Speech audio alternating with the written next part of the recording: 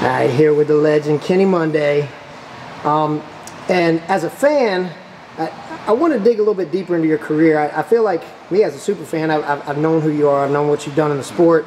There's a lot of details kind of researching and, and trying to figure out who you are as a, as a human being and, and, and your career and your path to your career. Um, there was a lot of things I didn't know. So I want to I want to get your story out there. I want to kind of step through your timeline. Um, and, and, and just talk about you know you growing up in the sport and reflecting on what you've done and, and your accomplishments and just kind of let people know like the, the path you took and what, what you've done. So the ncaa champ three-time olympian olympic champ you know you've done stuff on an extremely high level. Now you're here at the rtc uh, at unc um, but you start in tulsa. The story starts in tulsa. Talk a little bit about that growing up in tulsa and how you get involved in the sport.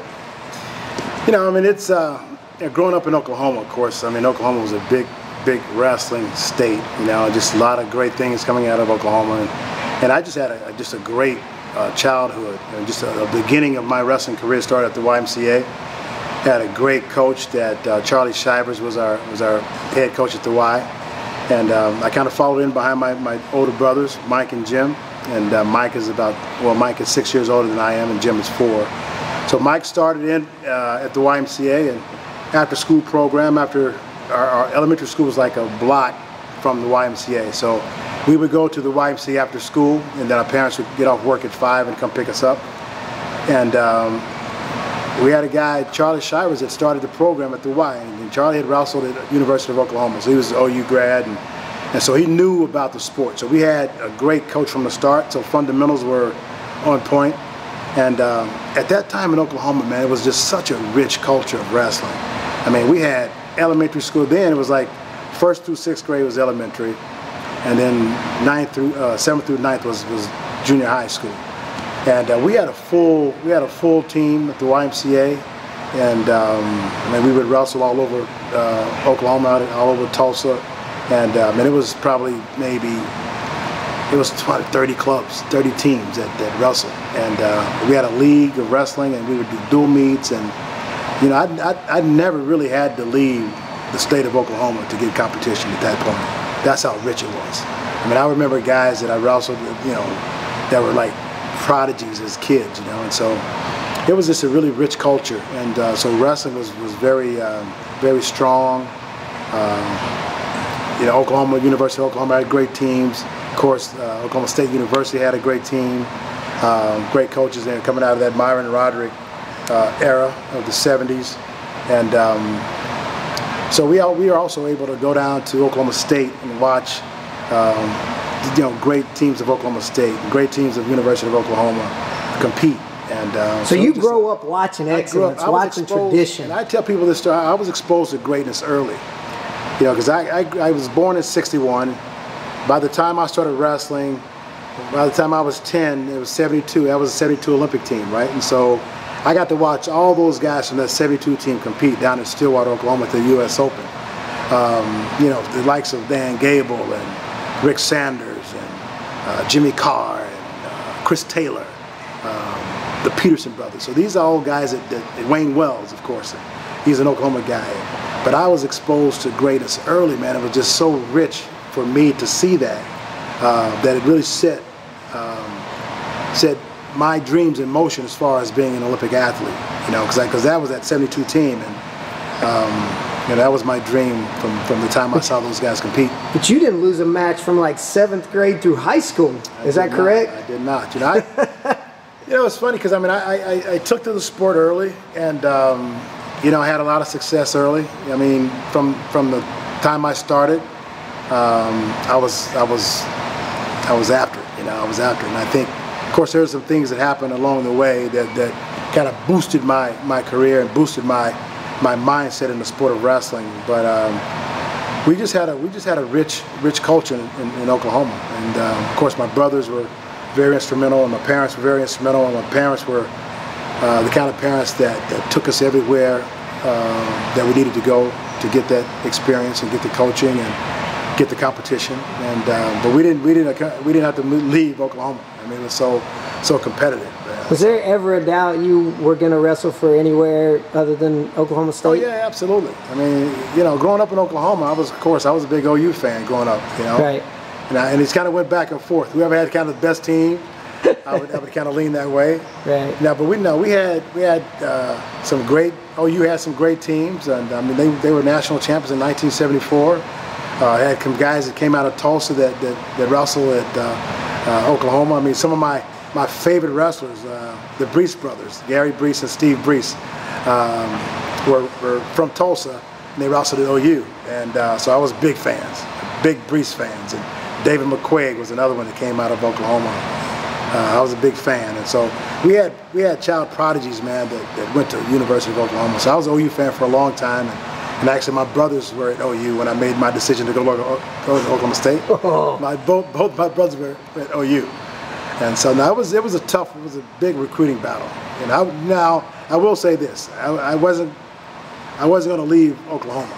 I didn't want to wrestle for any other state coming Right. out uh, at that point because we were so again the, the culture was so strong and uh, we had so much success coming out of oklahoma that um, when i got old enough to get to go on like all-star teams representing the state and that kind of really solidified my uh, yeah, my, my roots in oklahoma Well, talk about your adjustment when you got there. You don't lose a match from seventh grade through high school. You're walking into college thinking I'm going to be a four-time undefeated I did. NCAA I champ, did. and and that doesn't pan out. So I mean, talk about that adjustment, um, and and the reality of, hey, this isn't this isn't this isn't going to happen. Yeah, it was tough, man. It was tough. You know, I was again, I was I was very successful as a kid. I think I went undefeated like the fourth and the fifth grade, and then I lost one time uh, to, to Jim Hickson in the Tulsa Nationals in the sixth grade. Uh, and I didn't wrestle him again from that from the sixth grade. I didn't wrestle him again, and he's an Oklahoma kid from Oklahoma City. Del City, is it Del City? I think so. And then I didn't wrestle him again to my going for my fourth state title. I was undefeated, of course, and I didn't wrestle him again until the finals of my my state title, my going for my fourth state title. How how, how was you? How what was your thought process going into Oh that? man, I wanted, I wanted. I've been looking for him all that the whole time from the sixth grade. I was trying to get that match back. and you got it And I back. got it what, back. A, what a great way to do it, I think I beat him like 22 to three or something like that. So 84, you win a national title, and I'm looking. Mark Perry Senior is on that team, right? Yep. He ended up getting six at 118, Yep, yep. which was- blew my mind when I saw that. But you guys got second as a team. You didn't win the title. Yep, yep, we did. You know, of course, going into going into Oklahoma State, you know, of course, I had one tie in, in my high school career, and uh, I know you know the story. Uh, Mike Sheets was the guy that tied me, and, um, and so we we uh, so Tommy Chesbro said, well, if you- if you tied Monday, then you're you're coming to Oklahoma State as well. So he recruited Mike, and we both were teammates, and we got to to wrestle almost every day from that point on. But uh, we had a great class coming in. Mark Perry was uh, was um, on that team. Character. Came in as a freshman. what a character. Yep, yep. He is- is- I remember Mike, Mark coming in. We were on, the, I, I think, the All Star team uh, together, and so we got to hang out on the All Star team. He came to Tulsa, stayed at my house. I took him to my high school, took him to a high school dance at Booker T. Washington. and so we go way back. We go way back, and I go way back in, with John too. I remember the first time I met John Smith was, um, I think I was probably 13, 12, 13 years old. John was little. He was probably three or four years old. So he was like 10, 9 or 10, you know, just a little kid running around in Del City, Oklahoma. And um, so I've, I've been around those guys for a long time. S- set the stage for 88 Olympics, defending champ Varayev. You, you wrestle him in the finals and, and uh, ends up going to overtime. Yeah. But you're firing off attack after attack after attack, and you're getting in deep on some of them, and you could tell the guy's looking to counter the whole match. Um, you get the reversal, it, it kind of late in the match to tie it up, then it goes into overtime. Walk, walk, walk through that match and kind of what, what maybe your preparations were going into it, um, and, and knowing that this guy was probably going to be the guy you hit, and then you know how it played out. Yeah, Adlan Varayev was, uh, of course, he was he was 87 world champion, right? He beat Dave in the finals, uh, three, two to one, and um, he I had wrestled him three times before that.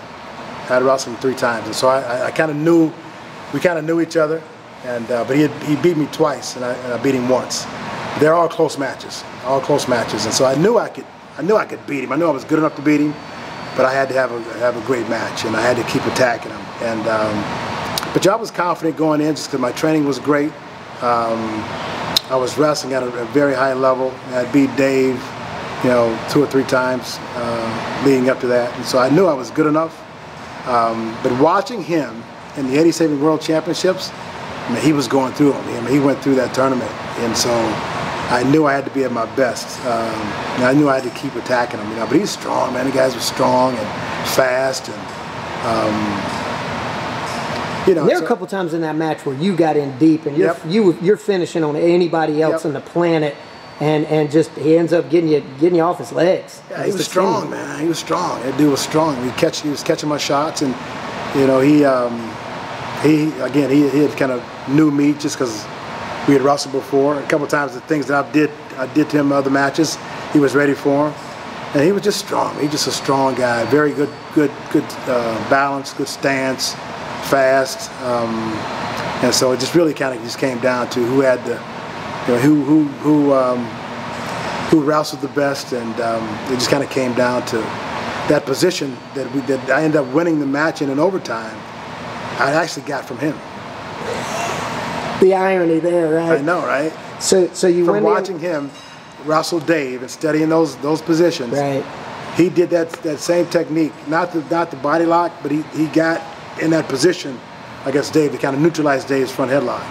And so I was playing around with that in practice a lot, a lot, a lot, and so I kind of developed my own uh, technique from there. So you, you win the Olympics, first black man on the planet, right, yep. to win an Olympic gold medal in wrestling. Yep. Um, your dad Fred was there, correct? Yeah, yeah. And and I'm watching the match, and he's as cool as a fan the whole time.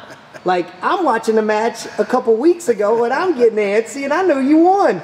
And your old man's just sitting there, just cool. How special was that to a make history for for your culture, but B have your dad there right there watching. It was great, man. I mean, dad, you say he was uh, he was cool, and that's just kind of how he is. He's cool on the outside, but he's burning up on the inside. he's so nervous. He is so nervous on the inside. And, uh, but you know, he, he, you know he lived the life with me. You know, when, from the time I started, he was right there, and you know, a couple years he was coaching, and so he was always very supportive and always uh, very. He never wrestled himself, but once we got to wrestling, he kind of learned as we went. Right? So he knew he knew me, knew the knew the sport, and no, it was it was special to have him over there. You know, I didn't get my mom didn't get to go, but he was over there and he hung out with John Smith's dad, Leroy, the whole time. So it was really he was really special for, for yeah, two Oklahoma kids to to be the only only gold medalists to come out of amazing. that deal. so they they had a great time. So Bobby Douglas and and Schultz are in your corner yeah, so Bobby, match. So Bobby is the one that actually really kind of brought being the first Olympic champion, first black Olympic champion, to my attention. You know, and I, have studied wrestling. I kind of knew because you know Lee Kemp was was a was a hero of mine, and Chris uh, uh, Chris Campbell and um, Gadsden and, and Melvin Douglas I mean, I, and all these Douglas. Guys, yeah. I mean, I've watched these guys for years and just kind of identified with those guys. Sure. You know, because they're African Americans, and so I always followed them and I knew probably Lee Kemp was probably be the he would have probably been the one that to, to be an Olympic champion. Three-time world champ. Three-time world champ. Made the team in '80. They boycotted. He didn't get to go, but he was a you know 81 world champ, you know 79 world champ. So he would have won, and uh, he didn't get that opportunity. And so um, so once Bobby brought that up, it kind of made it, you know, brought it to my attention. I mean, it really kind of elevated my um, my motivation. It really did. I mean, it really, it kind of gave me a, a different, uh, a different focus because now it was, it's not even about me winning. It was really about setting that standard and being the first. And anytime you had an opportunity to be the first in anything, I don't care if it's shooting marbles, you know, it's, uh, sure. it's a great thing, right? So that, that gave me some, it gave me a deep down motivation, a deep down inspiration that I know that would last a lifetime. So you kind of didn't add any more pressure though. It didn't, didn't add any more pressure. I was like, thanks, Bobby. Right. Thanks for giving me that. Did, but I mean, Bobby Douglas has been so instrumental yeah, in so yeah, many absolutely. guys' lives, and, and we talk about the what ifs with with with Schultz and, and what he would have gone on to do. But what he what he did while he was there, I mean, he elevated your level right. as an athlete to a point to maybe you never win an Olympic title without having that rivalry with him.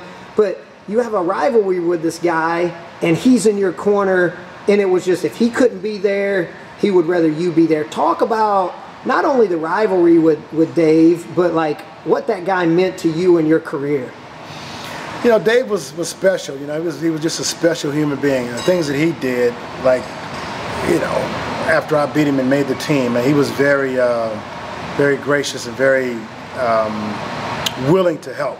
And I'm not for sure I would have done that. You know, you know right. what I mean? That's just kind of guy he was. But um, you know, Bobby was was was really um, going way back. My my oldest brother Mike um, was Bobby's first recruit at Arizona State. So that was his first college. He went to Arizona State first. So I was introduced to Bobby, you know, back in the, in the you know 70, 72 to 3, and got to be around him a little bit and learn from him, of course, with his books and that whole thing. And so I had a long history with Bobby Douglas, and so it was just special to have him my my special Olympic coach when we when I made the team. But Dave was just, uh, of course, he, he made me great. He, he, he made me, um, he kept me up at night. He got me up in the morning, and I knew that if I could if I could beat Dave, then I could beat anybody in the world because he was such such a competitor and such a in, um, intelligent wrestler. I mean, and he, and he, was he was tough. He was he was um, he was mean and he was intelligent. And so there's some, some levels that I had to get through to be able to overcome Dave. Um, that just and plus you know, everybody loved Dave. You know, USA Wrestling loved him, and of course Mark and Dave was was was the darlings coming out of '84 defending Olympic champions, and uh, they were already promoting those guys to, to be on the 88 team. And you know, I kind of came in and kind of kind of stopped that promotion a little bit. But uh, no, he took me to another level, man. He, he really did. And um, then once I made the team, he was he was in training camp, and, and of course he was he was there to help Mark as well. But he was like, Kenny, anything I can do to help you, um, I'm here for you, right? So we wrestled a lot in training camp. Yeah, every day he was like, "You, you want to wrestle?" And so uh, a couple times we, we would wrestle. Right? You ever get choked out in the front headlock? No, not in practice. Not in practice. So but, uh, look, looking back, and you don't strike me as a a, a, a very braggart type of guy. You seem like a very humble, kind of back in the cut type of guy. Looking back on, and I'm gonna ask you to be for a second. Looking back on your career, young man coming from Tulsa, Oklahoma, grows up in Tulsa, Oklahoma, goes undefeated from pretty much fifth grade through high school, right. except for this one dadgum character. Right. Um, you win an NCAA title, you win an Olympic title. You don't only win an Olympic title, but you set the bar for black men around the world. Um, when you when you when you hang your hat up at the end of your career, I mean, and, and not to not to wash over the fact you won a silver medal as well in the Olympics, right. and then you go back 96 Olympics. Um, Saitiev kind of has his coming out party, um, but you know, just just sitting in a rocking chair on your front porch and reflecting on your career, man. What what does that what does that mean to you as a as a individual, as a as a father, as a husband, um, and as an African American in, in in the world today? You know, it's uh, you know, it was it's been an amazing journey. You know, it really has. And, and one of the, the greatest things that, that I have experienced out of being an Olympic champion and, and being uh, at that level of success in the sport of wrestling is that um, it gave me a platform to really share share my story and to touch so many other kids. You know, you'd be you'd be surprised at how many um, just families and fathers and sons and, and, and wrestlers that I've touched over the years. And, and, they come up to me now as grown men that I maybe inspired as when they were a little kid. Whether I coached them or they were watching and they were wrestling because I, I uh, my, my success.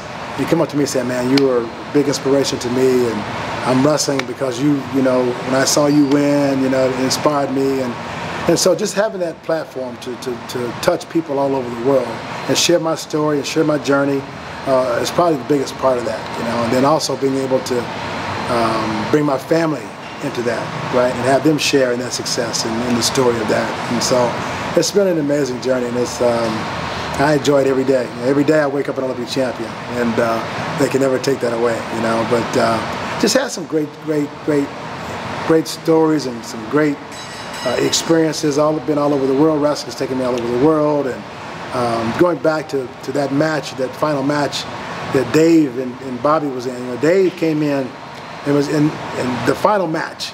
and came up to me and said, said Kenny, do you do you mind if I if I sit in your corner?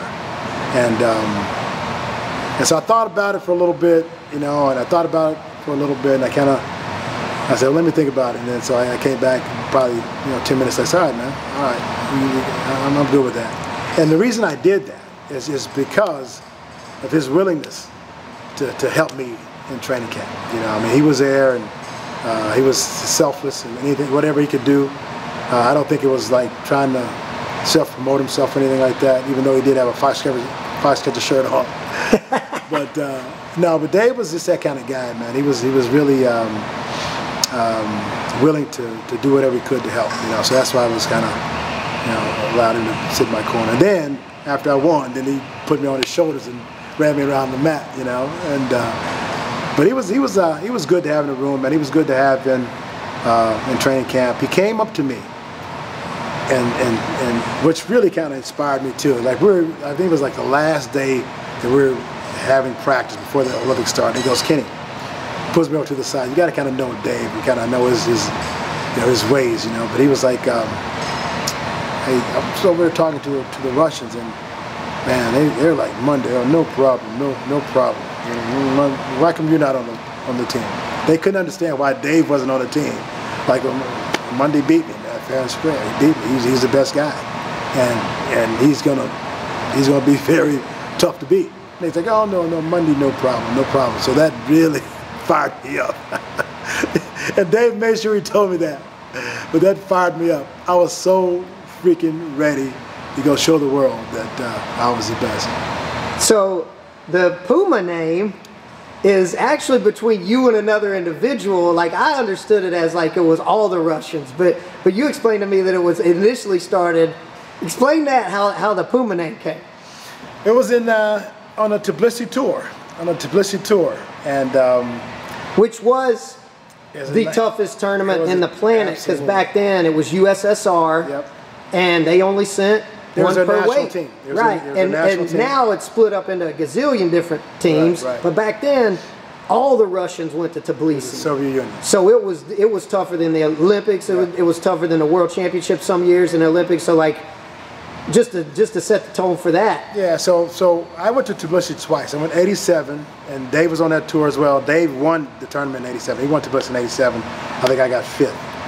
The next year, Dave went, but he didn't wrestle, and so I that's the year I won. But we would always do like two, three dual meets on that tour. So we do three, do, uh, three dual meets, um, a different team, Russian teams, different guys, and then we'd go to the tournament. So that was like 11 matches that I, I wrestled that year uh, on that tour. And one of the guys that were, I think he was 68 kilo. I, I forget his name, this Russian guy, but he was really tough. And uh, so we kind of hit it off. We exchanged some some some gifts and that kind of thing. And so he kind of showed me around, and uh, so we kind of just hit it off, and we just kind of started teasing each other. And uh, and he was like a real strong, but he was like very uh, controlled. He had a lot of throws, a lot of arm throws, and he didn't move a lot, right? I'm like, dude, you're you're you're also like a you're like a walrus. You're, you're slow. You're like a big bear. You know, you you just kind of plot around. He goes, yeah, you're like a little little puma. You're you're like a black puma. You're, you're so fast and you're moving. You do you move too much. You know, and uh, and so so then every time he saw me, he would say, Puma, black puma, and he'd laugh, the black puma. And so it just freaking stuck, man. And those all those guys, all those Russian guys, and then I won that tournament. So now now when I went to Tbilisi and I got that white cape.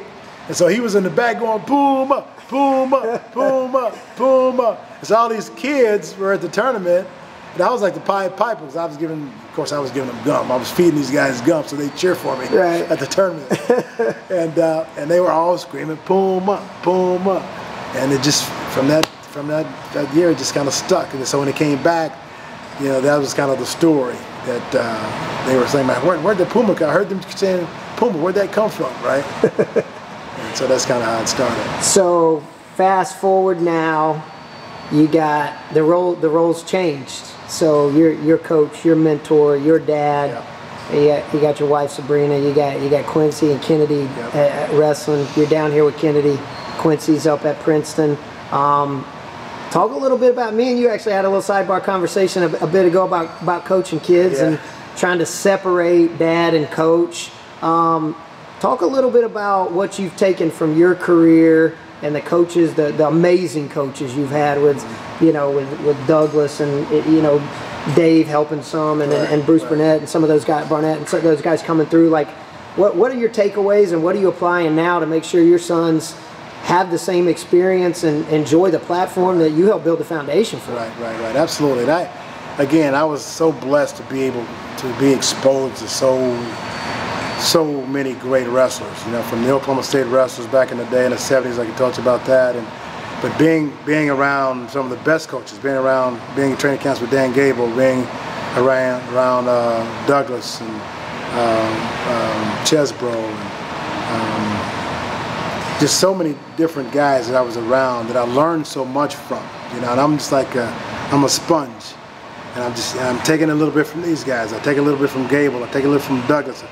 Chesbro, Myron Roderick was, a, was a, another great source that I got to know growing up. Uh, he was athletic director when I was there at Oklahoma State. Um, being around then, then being teammates with John Smith and Mike Sheets, and um, so these guys really kind of shaped my whole um, philosophy about wrestling, about you know just uh, working your butt off, putting yourself in the right environments. I, I'm so big about putting yourself in the right environment where you know you got like-minded people, people that, that, that you love training with, right? That got a, a energy and a, um, an excitement about about competition, um, and so just trying to give them my experience and give them my um, just my my my my philosophy on, on, on, wrestling and how to approach you know and, and they got to do their own journey and I one of the biggest things that, that they struggle with, I think they struggle with early, is just being the, the sons of Olympic gold medalists, right? But a lot of the pressure comes from, and I, and I explained it to them, a lot of pressure comes from other people. It doesn't come from me, you know, because it's their own, it's their own journey. Of course, uh, you know, we're going to work hard, and, and I told them I can show you all the technique in the world, I can show you all the, all that, you know, but it's um, you can't get around the work. It's hard work, it's dedication. If you want to be good, if you want to be great, you've got to dedicate yourself to the sport, right? And um, but I never get caught up in, in um, you know trying to trying to have them emulate my success, right? I want them to to have their own journey, which they are doing now. And they, they got their own path that they're doing. I'm really happy about that. I just merely wanted to, to um, expose them to the sport, introduce them to the sport, um, and then have them take off how they how they want to take off. Now, I mean, they're at the point now where I feel like their styles are good enough to, that they can win. it's just about what they want out of the sport. They can. I, I, feel I feel like they're they're good enough to do whatever they want to do in the sport, right? It's just how, just as far as what they want out of the sport, how hard they want, how hard they want to work, or what they're willing to sacrifice just you know what they want to do with it, right? So they're good enough to do whatever they want to do in sport, right?